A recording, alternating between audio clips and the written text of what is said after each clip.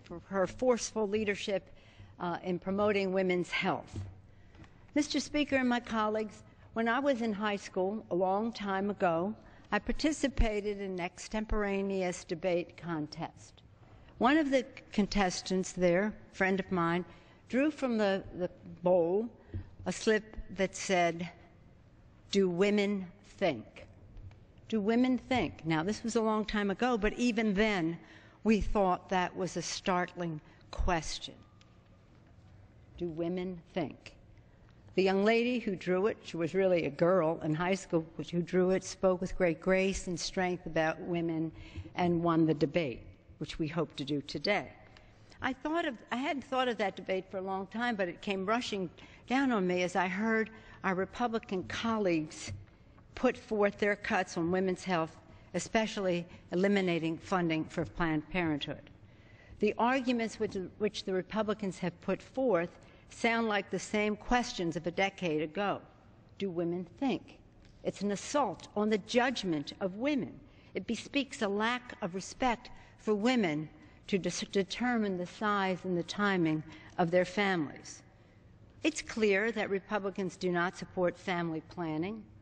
It's hard to understand, but it's clear that they don't, and have used the debate on this bill to spread misinformation about the critical work that Planned Parenthood does on behalf of America's women every day. So let us be clear.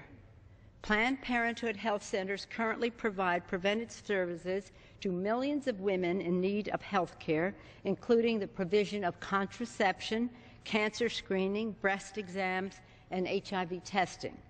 Further, this debate is not about abortion. That is because federal funding for abortion is already prohibited. That is the law of the land. This debate is about women's health. Every year, Planned Parenthood health centers provide this for women's health contraception to nearly 2.5 million patients, nearly 1 million pap tests identifying about 93,000 women at risk for developing cervical cancer, 830 breast exams helping alert patients to possible cancers. And that is why cutting off federal funding for Planned Parenthood would have a devastating impact on women's health across the country. Indeed, 90, more than 90 percent of the health care provided by Planned Parenthood is preventive care. For majority of the women who use Planned Parenthood health centers, the centers are the primary source of receiving health care services. Elimination of funding means that these women do not have health care of any kind. Today's legislation, which has no chance of passing the Senate and becoming law, thank God, is just part of the Republican agenda that is the most comprehensive and radical assault on women's health and reproductive freedom in our lifetime. And that's saying something. Further, I point out that today, on the floor of this House, this is the 100th day of the Republicans having the majority.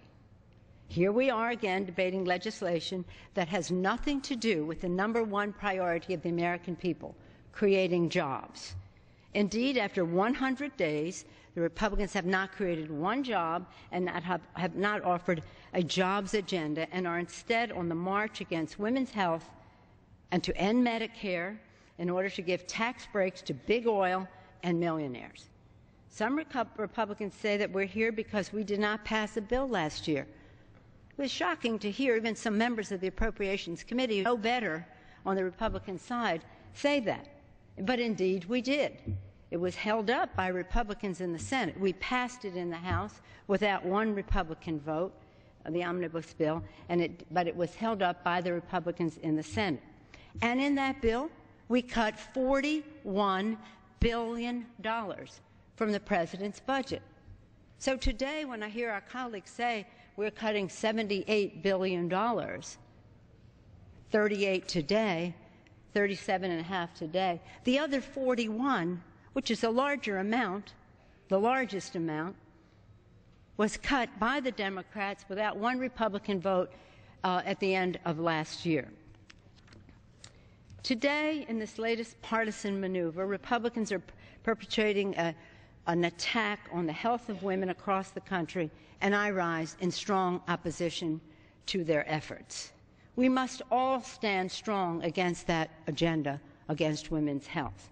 We must all continue to work to create a healthier America. And that is why I urge a yes to women's judgment, a yes to respect their decision on the size and timing of their families, and a no for this vote, which is an attack on women's health. With that, I yield back the balance of my time. He yields back the gentleman from Mississippi. Thank you, Mr. Speaker.